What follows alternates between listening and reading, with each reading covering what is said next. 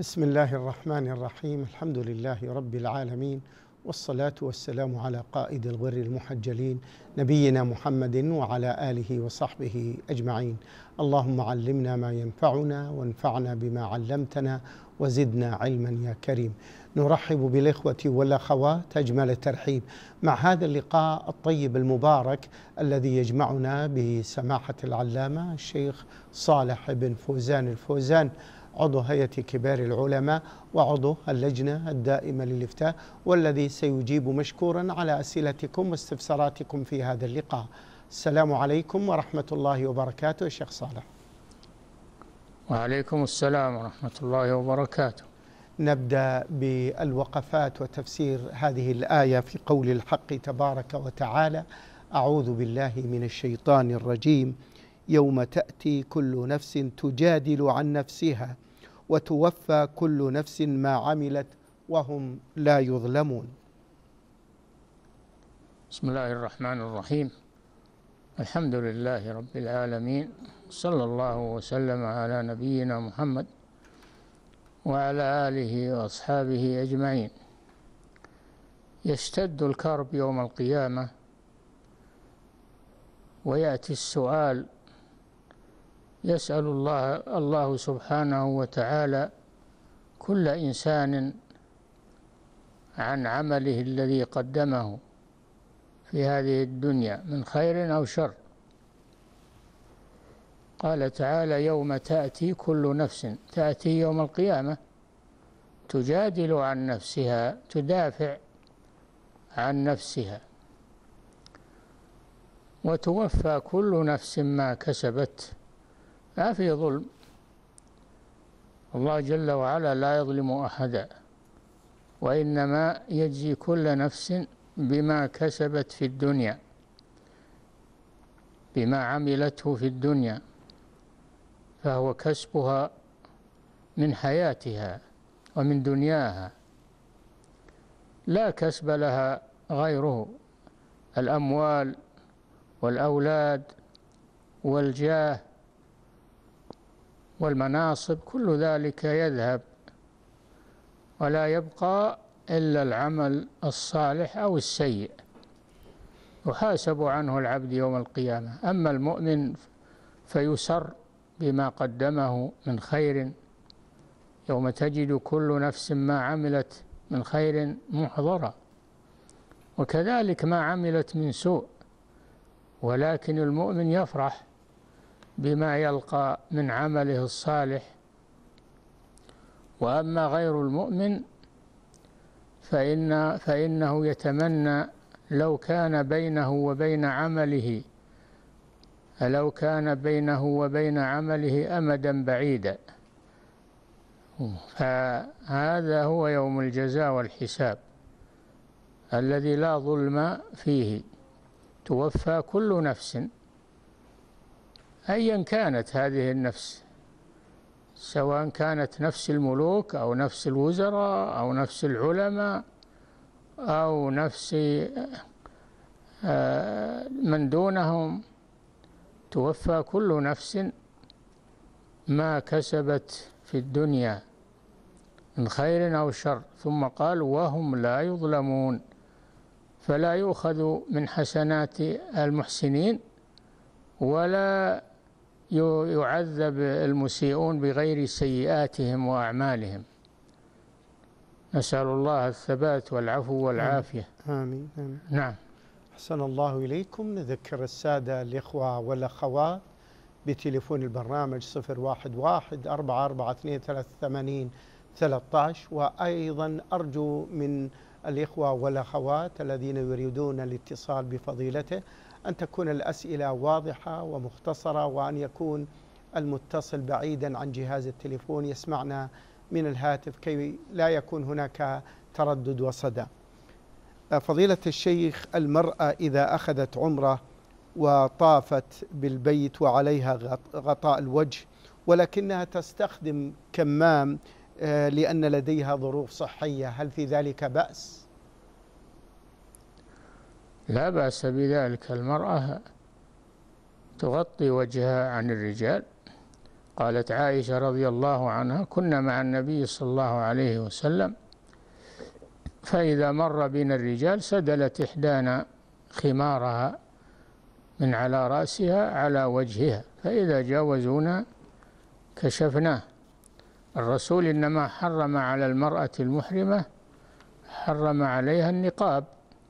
والبرقع وما خيط وما خيط للوجه خاصة وحرم عليها لبس القفازين على الكفين لكن تغطي كفيها عن الرجال بثوبها الذي عليها. نعم. تقول في فقرتها كيف يتحقق التوحيد في الحج والعمرة؟ قال الله جل وعلا وأتموا الحج والعمرة لله فيها أمران الآية الأمر الأول الإتمام وذلك بأداء المناسك كما شرعها الله سبحانه وتعالى وكما بينها رسوله صلى الله عليه وسلم بقوله خذوا عني مناسككم الأمر الثاني الإخلاص لله فلا يحج أو يعتمر لأجل الرياء والسمعة أو يحج ويعتمر من أجل طمع الدنيا أو ما أشبه ذلك. وإنما لله سبحانه وتعالى يخلص حجه وعمرته لله عز وجل. ويتجنب الشرك في عمله كله وفي حجه وعمرته أيضا لأنه إذا خالط العمل شرك بالله عز وجل أبطله وأفسده. لا بد أن يكون العمل خالصا لله عز وجل لا فيه ليس فيه رياء ولا سمعة وليس فيه آه، طمع في أمر من أمور الدنيا. نعم.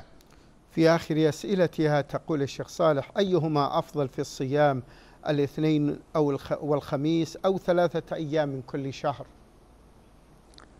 كلاهما لا تنافي بينهما. يصوم الاثنين والخميس من كل أسبوع ويصوم ثلاثة أيام من كل شهر ويكون له الأجر العظيم في ذلك. فإن اقتصر على الاثنين والخميس فإن هذا يكفيه لكن ينقص عليه أجر من صام ثلاثة أيام من كل شهر. ومن صام ثلاثة أيام من كل شهر وترك صيام الاثنين والخميس نقص عليه صيام الاثنين والخميس. نعم. تقول مساعد يا شيخ أيهما يقدم قضاء رمضان؟ أم الصوم عن كفارة يمين أو نذر؟ إن كان قد حدد أياما للنذر فإنه يصومها والقضاء موسع يصومه من أيام أخر. أما إذا لم يحدد النذر فإنه مخير. إن شاء صام القضاء أولا وهذا أحسن وإن شاء صام النذر. نعم. تقول مسعد يا شيخ في تفسير آية ما معناه ما معنى تفسير هذه الآية؟ الذي أحسن كل شيء خلقه. أحسن يعني أتقن فالله أتقن كل شيء من مخلوقاته. صنع الله الذي أتقن كل شيء. فلا تجد في مخلوقاته نقصا ولا عيبا. هذا في الأصل. قد يطرأ عليها عيب أو نقص لكن هذا ليس من خلق الله عز وجل فيها. ولكن هذا من سبب عمل الإنسان وجناية الإنسان. نعم. أبو عادل يا شيخ يقول ما مناسبة قول الرسول صلى الله عليه وسلم ذهب المفطرون بالأجر نعم لما كانوا في سفر وكان الوقت حارا فالصائمون جنحوا إلى الظل لأن الصيام أضعفهم والمفطرون قاموا بعمل ترتيب المنازل ونصب الخيام وما أشبه ذلك فحصلوا على الأجر الذي أصابوه بسبب عملهم لإخوانهم. هذا معنى قوله ذهب المفطرون بالأجر. نعم. أحسن الله إليكم. أبو عبد الله أرسل بمجموعة من الأسئلة للبرنامج. يقول يا شيخ من فاتته صلاة الليل ولم يستيقظ إلا من النهار فهل يصليها جهرية أم سرية؟ يصليها جهرية لأن القضاء يحكي الأداء. يصليها جارية وهذا هو الذي فعله الرسول صلى الله عليه وسلم لما ناموا عن صلاة الفجر. صلوها ولم يوقظهم إلا حر الشمس. لأنهم كانوا يمشون بالليل فناموا في آخر الليل وثقل نومهم فلم يوقظهم إلا حر الشمس. النبي صلى الله عليه وسلم أمرهم أن ينتقلوا من هذا المكان إلى مكان آخر وصلوها بصفتها في في الليل يجهر بالقراءة كما كما في الليل. نعم. هذا سائل يقول يا شيخ هل كان الرسول صلى الله عليه وسلم يخطب الجمعة في الصحابة؟ وما مقدار خطبة الرسول صلى الله عليه وسلم؟ وعلى أي شيء تشتمل؟ نعم الرسول صلى الله عليه وسلم هو كان الذي يخطب الجمعة ولا يخطب عنه أحد عليه الصلاة والسلام. وكانت خطبته قصدا لا يطيل. لكنها كانت شاملة. كانت كلمات خطبته كانت كلمات معدودات طيبات مباركات. ويقول صلى الله عليه وسلم إن قصر خطبة الرجل وطول صلاته مئنة من فقهه. فأطيلوا الصلاة وأقصروا الخطبة. نعم لكن مع استيفاء أغراض الخطبة. نعم. طيب نبدأ بالاتصالات ونأخذ أبو سالم. تفضل أبو سالم. السلام عليكم ورحمة الله. وعليكم السلام. آه شيخ الله يحفظك. أنا عندي ثلاثة أسئلة. السؤال الأول أنا أصلي وأنا على الكرسي يعني. أقوم بس السجود بيكون يصعب علي. هل لي أن أفرش يدي أنا الشيخ شوف الأسبوع الماضي؟ ما فهمني أنا سألت السؤال هذا. طيب والسؤال الثاني؟ أفرش يدي ولا لمها على الركبتين طيب والسؤال الثاني؟ السؤال الثاني صلاة الضحى إذا فاتك يجوز أن تقضيها بعد صلاة آه، الظهر أو قبل صلاة الظهر مع الأذان؟ طيب والسؤال الثالث؟ السؤال نفس السؤال. إذا اللهم صل عليه. بالنسبة للسؤال الثالث آه، إذا توضيت. لا تقول لي يا شيخ آه، عبد في ملسة إذا إذا توضيت في أي وقت قبل صلاة المغرب بربع ساعة قبل صلاة الظهر بربع ساعة هل يجوز لك أن تصلي ركعتين في ناس يقول لك لا لا لا تصلي لأن هذا في منع. طيب. والسؤال الأخير نعم رابع. أنا عندي قبل 25 سنة يمكن آه، أفطرت آه، يعني في مثلا آه، الله يكرمك في جماع نعم. وكنا مقصرين يعني. الحمد لله التزمنا الحين ولله الحمد. طيب. وما يجي ما ما اللي يلزم علي أنا طيب. يوم وهذا ورحمة الله واضح واضح واضح. شكرا شكرا. آه يصلي فضيلة الشيخ على كرسي ولكنه يجد صعوبة في السجود. كيف السبيل إلى ذلك؟ يومئ يومئ برأسه ويخفضه للسجود يومئ برأسه للركوع والسجود ويخفض رأسه في السجود أكثر من ركوعه. وإن كان يقدر على الركوع وهو قائم فإنه يركع وهو قائم. نعم. يقول إذا فاتتني صلاة الضحى هل أصليها بعد الظهر أو قبل الظهر يا شيخ؟ لا. سنة فات وقتها فلا تقضى. نعم. يقول إذا توضأت يا شيخ في أي وقت هل أصليها ركعتين أم أدخل فيها في الفريضة? نعم. يقول إذا توضأت في أي وقت هل أصلي ركعتين في هذا الوضوء? نعم ركعتي الوضوء. يستحب لمن توضأ أن يصلي ركعتين.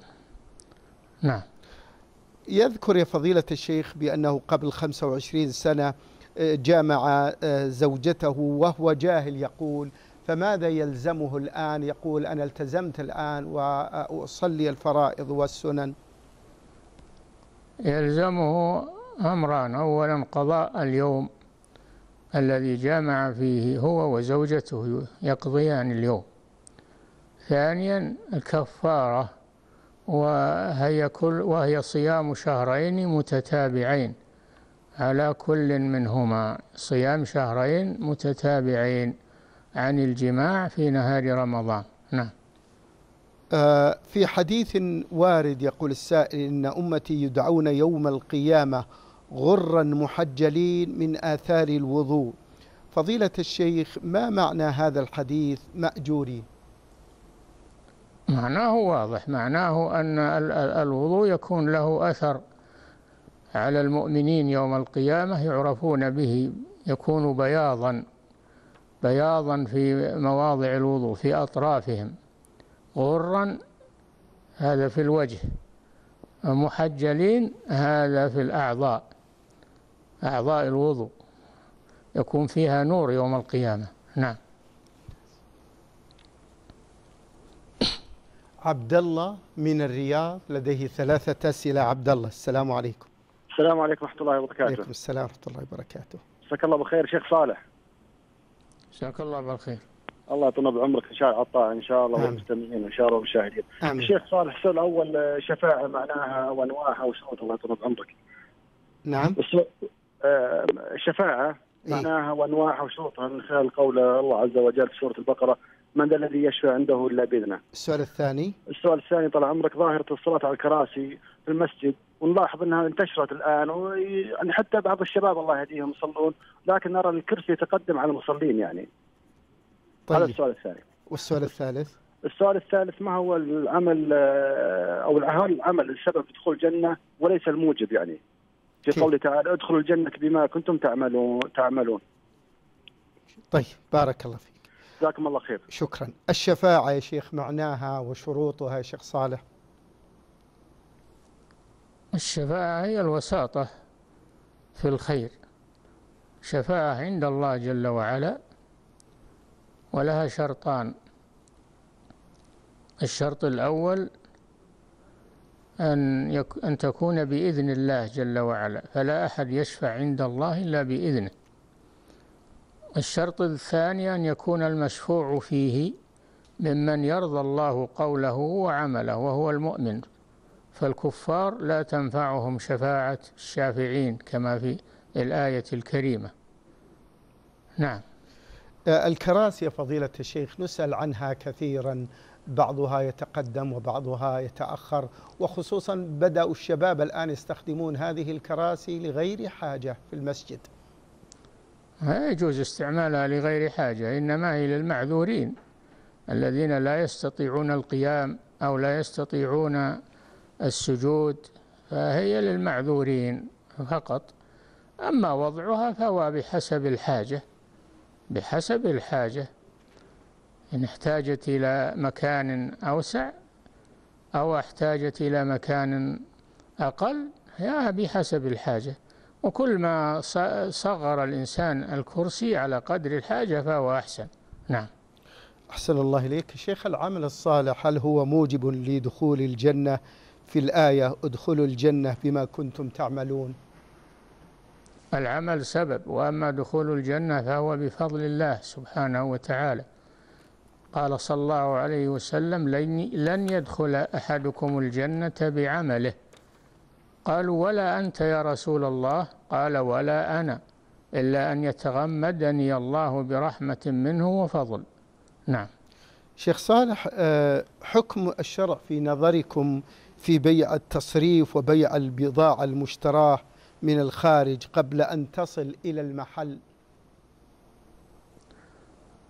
بيع التصريف هذا ما ما ينعقد ولا يجوز لأنه بيع معلق والبيع يكون منجزا ولا يعلق على شرط. وأما الثاني؟ آه، قبل أن تصل إلى المحل بيع البضاعة قبل أن تصل إلى المحل. إذا كانت منضبطة بالوصف إذا كانت تنضبط بالوصف فلا بأس ببيعها بالوصف. أما إذا كانت لا تنضبط بالوصف فلا. نعم. أحسن الله إليكم. آه، شيخنا الكريم ما الواجب نحو من يصلي الصلوات ولكن بعد فوات أوقاتها؟ لا تقبل منه. إذا كان إخراجها عن الوقت من غير عذر فإنها لا تقبل منه. لأن الله جل وعلا يقول إن الصلاة كانت على المؤمنين كتابا موقوتا. ويقول النبي صلى الله عليه وسلم صل الصلاة لوقتها. نعم. السائل أبو سامي يقول الشيخ كيف يطهر الثوب إذا أصيب بقطرة أو قطرتين من النجاسة؟ يغسل. يغسل حتى يزول لون النجاسة وريحها. نعم. يقول هذا السائل يا شيخ بأن والدتي خصتني بعطية دون باقي إخوتي ثم ماتت رحمها الله فكيف أتصرف؟ إذا ماتت هي يجب عليها أن تسوي بين أولادها بالعطية ولا تخص بعضهم دون بعض لكن إذا ماتت استقرت العطية إذا قبضتها إذا قبضتها قبل أن تموت استقرت وتكون المسؤولية عليها حيث لم تسوي بين أولادها في العطية. نعم. هذه الزوجة تقول يا شيخ زوجها يهددها بالطلاق إذا أقرضت أخاها من راتبها. لا تقرضه لأن هذا إذا أقرضته تطلق. لأنه علق الطلاق على هذا الشرط فإذا حصل الشرط حصل المشروط فلا تقرضه. نعم. يقول السائل نحن آه، آه، مجموعة من من من من الله علينا بالهداية ولكننا نخصص يوم في الأسبوع للتفكر ومحاسبة النفس. هل هذا وارد عن الصحابة؟ لا. لا يخصص محاسبة النفس لا تخصص بوقت. الإنسان يحاسب نفسه في كل وقت ولا يخصص هذا بوقت من الأسبوع. نعم. طيب. أبو مهند من جدة. تفضل أبو مهند. السلام عليكم ورحمة الله وبركاته. وعليكم السلام. شيخ الله يجزاك بالخير. آه، آه، سورة النساء قال الله عز وجل هي السورة إن الله لا يغفر أن يشرك به ويغفر ما دون ذلك لمن يشاء. هل الآية محكمة أم آه، منسوخة؟ بقول الله عز وجل في الزمر قل يا عبادي يا عبادي الذين أسرفوا على أنفسهم. السؤال الثاني جزاك الله خير. لا اسمع الجواب. لا لكن اقرأ اللي بعدها يا أخي. يقول وأنيبوا إلى ربكم وأسلموا له. فلا بد من التوبة. لا بد من التوبة. قبل قبل الممات نعم. يا شيخ. نعم. السؤال الثاني. يعني الآية من- آه، منسوخة أو أو محكمة؟ يا أخي محكمة. وش اللي نسخها؟ لأنها سألت أحد المشايخ قال منسوخة في الطبري. يقول يا عبادي. لا ما. هذا ما هو ما هو ما هو صحيح. هذا خطأ. السؤال الثاني يا أخي أبو مهند. السؤال الثاني جزاك الله خير. بالنسبة لدراسة العقيدة آه، والتطرق للسلف بدرس عقيدتهم وهذا كذا وهذا أشعري وهذا صو هل يجوز هل يعني هل في غيبة أو طيب شكرا يا لك. أخي ادرس ادر- ادرس عقيدة أهل السنة والجماعة على العلماء. ادرس عقيدة أهل السنة والجماعة على العلماء وإن شاء الله تعرف الحق من الباطل. نعم. شكرا شكرا بارك الله فيك. فضيلة الشيخ هذا الشخص أوصى بثلث ماله على تعليم وتزويج جميع أبنائه. هل يعمل بهذه الوصية؟ نعم. يقول رجل أوصى بثلث ماله على تعليم وتزويج جميع أبنائه. نعم إذا لم يخص أحدا منهم فينفذ تنفذ هذه. لكن أبناؤه وارثون والنبي صلى الله عليه وسلم يقول لا وصية لوارث فلا يجمع بين الوصية والإرث. فهي وصية غير صحيحة. نعم. الأخت التي رمزت لاسمها بألف باء عين تقول أرجو عرض سؤالي على سماحة الشيخ صالح لعل والدي يستفيد ويسمع هذا التوجيه. تقول بأنها مدرسة منذ عشرين سنة والحقيقة أن الوالد يتردد في الخطاب الذين يأتون إليها وحتى الآن لم تتزوج وراتبها تقول آه، مرتفع جدا فضيلة الشيخ وفاتني القطار. تقول أرجو من فضيلة الشيخ نصيحة لأولياء الأمور والبنات. لا يجوز لا يجوز عضل النساء. بمعنى منعهن من الزواج من كفء ترضى به لأجل غرض يرجع إلى وليها يستثمرها. لا يجوز هذا. يمنعها من الزواج لأجل يستثمرها بأخذ راتبها. هذا لا يجوز له حرام عليه. وهذا عضل محرم. وحتى إذا أصر على هذا تنزع الولاية منه الولاية منه إلى من دونه. نعم دفعا للظلم عنها والضرر عنها. نعم. عبد الله من رنيا سؤال واحد تفضل يا عبد الله الشيخ وش الأفضل الاستغفار أم التسبيح؟ شكرا. كلاهما يا أخي اجمع بينهما. سبح ربك واستغفر لذنبك. نعم. الآية الكريمة يقول أبو عادل ما معناها ولو شاء ربك لآمن من في الأرض كلهم جميعا. أفأنت تكره الناس حتى يكونوا مؤمنين؟ نعم لو شاء الله لآمن الناس كلهم جميعا. ولكنه سبحانه يريد أن يكون الإيمان اختياريا اختياريا يؤمنون باختيارهم وعملهم. نعم. من الأسئلة التي وردت يا شيخ هذا يقول كنت شابا في السابق لا أصلي وتاب الله علي وحافظت على الفروض. هل أقضي ما تركت في السابق أم أستمر في العبادة والزيادة؟ آه، نعم تقضي ما فات من من الماضي مرتبا إذا أمكن ذلك. فإن كانت الصلوات كثيرة وتأخذ منك أوقاتا طويلة فتوب إلى الله وحافظ على الصلاة في المستقبل. أما إذا كانت الصلوات بإمكانك قضاؤها لأنها ليست كثيرة فيجب عليك قضاؤها مرتبة. نعم. أحسن الله إليك يا شيخ صالح. يقول السائل أبو سالم بأنه آه، أخذ عمره آه، عدة مرات ولكنه لا يطوف طواف وداع للعمرة.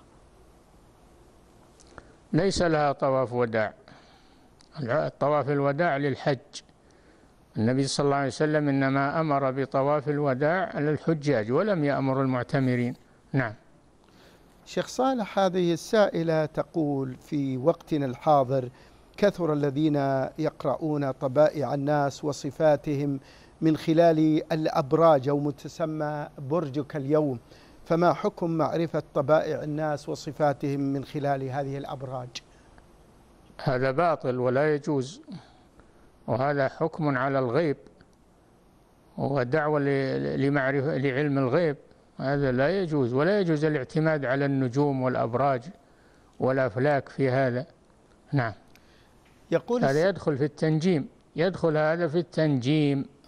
نعم. ما حكم شيخ الأخذ بالأسباب وهل ينافي التوكل على الله؟ لا أبدا لا بد من الأمرين العمل بالأسباب مع التوكل على الله.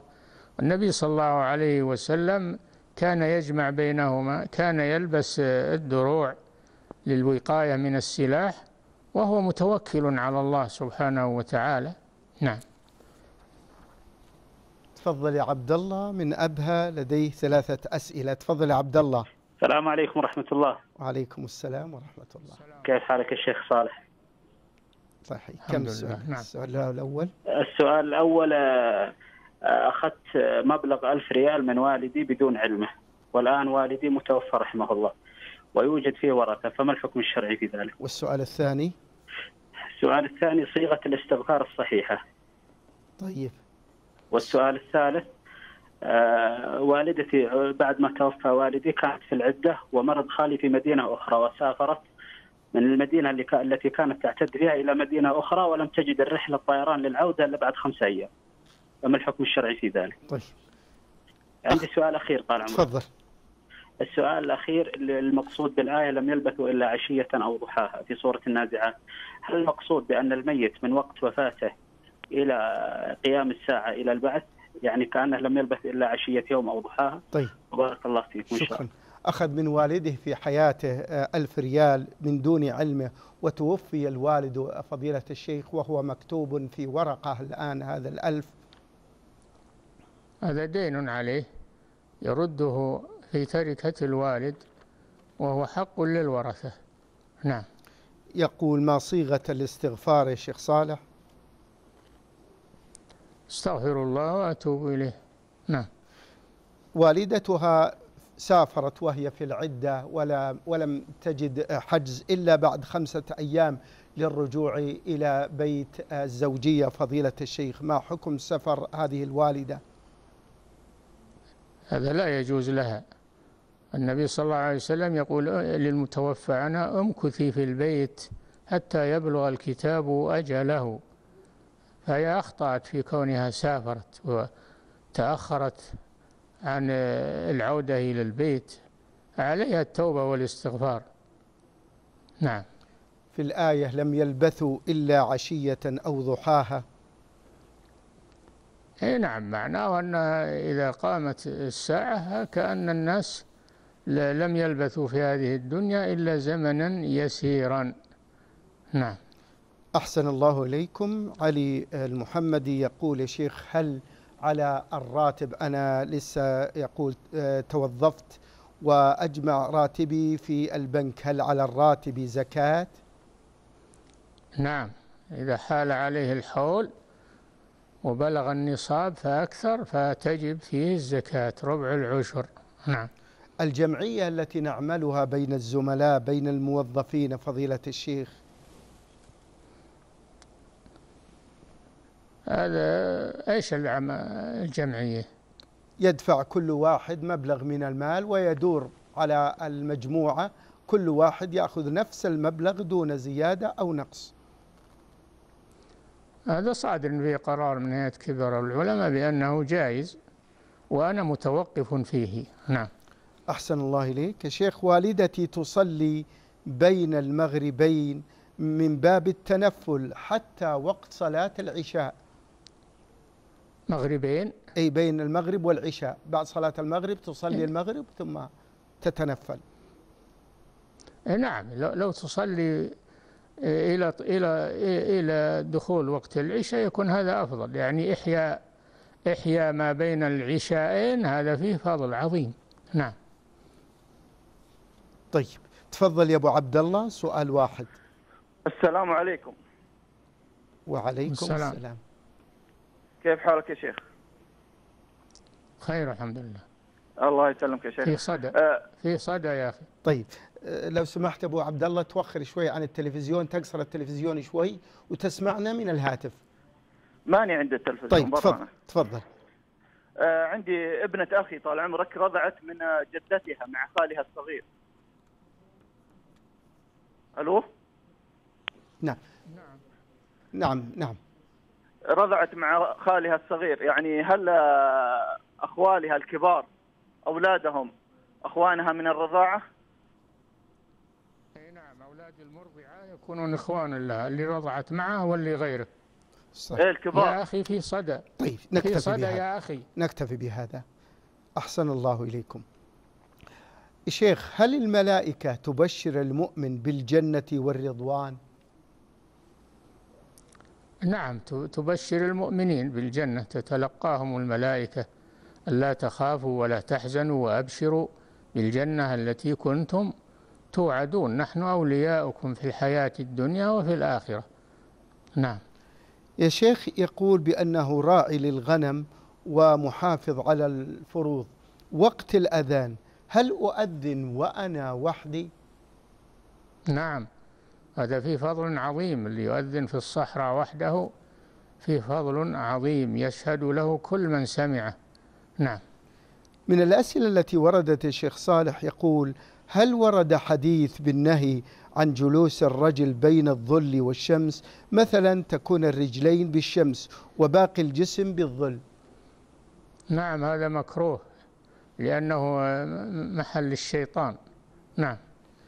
يا شيخ صالح يقول ما الراجح في زكاة الذهب الملبوس بالنسبة للمرأة؟ نعم الجمهور على أنه لا زكاة فيه إذا كان معدا للتزين به ليس فيه زكاة. لكن آه، من العلماء من رأى أن فيه الزكاة أخذا بالعمومات في هذا. نعم.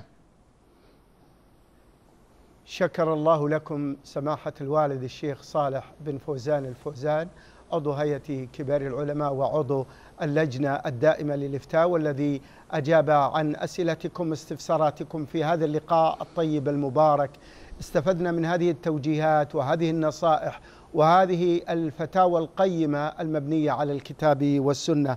أشكر فريق العمل من الم... في مكتبة الشيخ من المخرجين والفنيين والمصورين. أشرف على هذه الحلقة زميلي عبد الرحمن بن صقر المدرع. أشكرهم شكرا جزيلا وإلى الملتقى. والسلام عليكم ورحمة الله وبركاته.